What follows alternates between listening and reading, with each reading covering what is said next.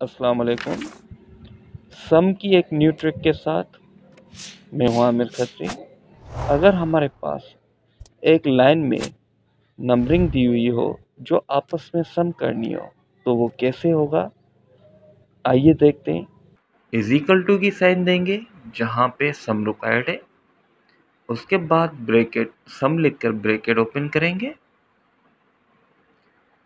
उसके बाद हमने लिखना है डबल डैश।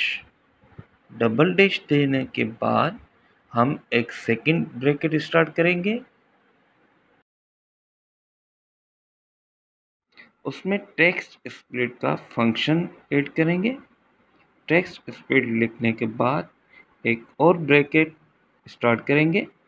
फिर हम लिखेंगे वही लोकेशन जहाँ पे नंबर्स टेक्स्ट में लिखे हुए जिनको हमने सर्व करना है, कम करना है।